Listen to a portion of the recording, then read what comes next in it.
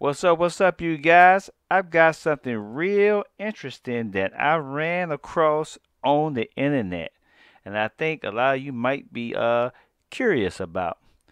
I've got a hold of a website that has the last 16 emails that Satoshi Nakamoto, the inventor of Bitcoin, sent to his uh, work associate Mike Hearn.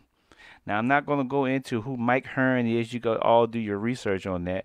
But I will include a link where you can find the last 16 emails from Satoshi Nakamoto. And after that, you know he was never, that person was never heard from again. So I'm not gonna make. I'm not gonna go through all the uh, email because a lot of them are technical. But if you can look on the screen right now, I just want to point something out that I saw in the emails. Here's the last email right here at the bottom. So when you go to the site that I put in the link, this is the last one, Saturday, April the 23rd, 2011. The last email it says reference holding coins in the unspendable state for a rolling time window. I had a few other things on my mind. This is uh Satoshi talking. I had a few other things on my mind as always. One is are you planning on rejoining the community at some point? He's talking, you know, right there to Ken. And he's asking him that. Or is your plan to permanently step back from the limelight? I move and then Satoshi is saying, I've moved on to other things. It's in good hands with Gavin and everyone. I do hope your Bitcoin J continues to be developed in an alternative client. It gives Java devs something to work on and it's easier with a simpler foundation that doesn't have to do with everything. I'll get critical mass when impatient new users can get started using it while the other one is still downloading the blockchain. So that was his last email.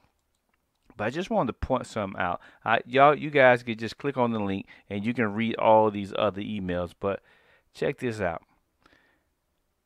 The first one. This is what really is it. Yep. This this is the one that really caught my eye.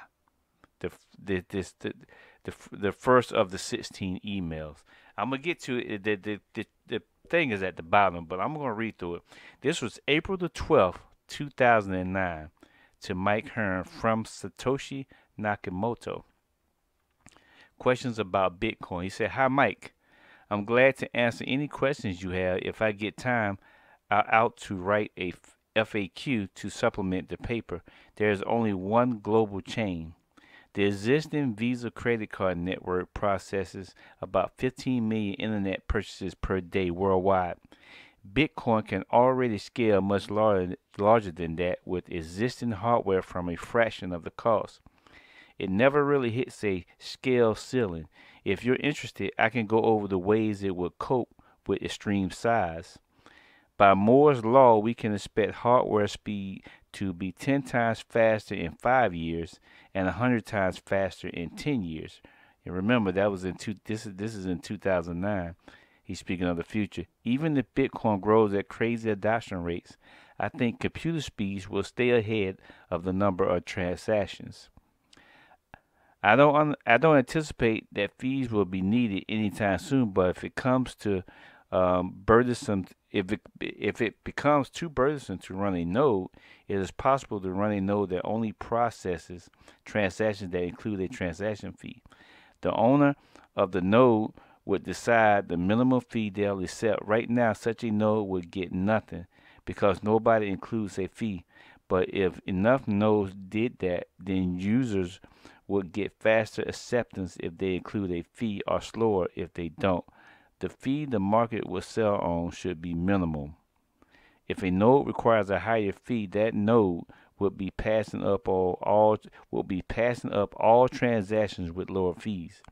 It could do more volume and probably make more money by processing as many paying transactions as it, as it can. The transaction is not controlled by some human in charge of the system, though, just individuals reacting on their own to market forces. Eventually, Most nodes may be run by specialists with multiple GPU cards. For now, it's nice that anyone with a PC can play without worrying about what video card they have, and hopefully it'll stay that way for a while. More computers are shipping with fairly decent uh, GPUs these days, so maybe later we'll transition to that. A key a key aspect of Bitcoin is that the security of the network grows as the size of the network and the amount of value that needs to be protected grows. The downside is that it's vulnerable at the beginning when it's small, although the value that can be stolen should always be smaller than the amount of effort required to steal it. If someone has other motives to prove a point, they'll just be proving a point I already concede. My choice for the number of coins and distribution schedule was an educated guess. It was a difficult choice because once the network is going, is locked and then we're stuck with it. I wanted to pick something that would make prices similar to existing currencies, but without knowing the future. That's very hard.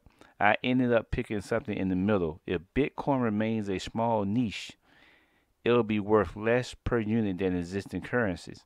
If you imagine it being used for some fraction of world commerce, then there's only going to be 21 million coins for the whole world. So it would be worth much more per unit. Values are 64 bit integrals with 8 decimal places, so one coin is represented internally. Basically, what we what we call today as satoshis. There's plenty of gran- granularity. If typical prices become small, for example, if 0.001 is worth one euro, then it might be easier to change where the decimal point is displayed. So if you had one Bitcoin is now displayed as 1000 and 0.001 is displayed as 1. Now, here's the part that I found very interesting at the end of this letter. Satoshi Nakamoto says Ripple right here. This is from the, the, the inventor of Bitcoin the inventor of Bitcoin, said Ripple is interesting in that it's the only other system that does something with trust besides concentrate it into a central server. Satoshi. Yes, sir. Ripple. Y'all heard, right? This is right from the inventor of Bitcoin and this was back in 2009. Satoshi Nakamoto said Ripple is interesting in that it's the only other system that does something with trust besides concentrate it into a central server. Satoshi Nakamoto. That's right, you guys. The link to this will be in the description of this video. I'm uh, like always, I always try to get you some information you might not know about, you might not be able to find, but Satoshi likes Ripple, which means Satoshi likes XRP. Ooh, yes, sir. Yes, sir. This is the guru. See you on the next one.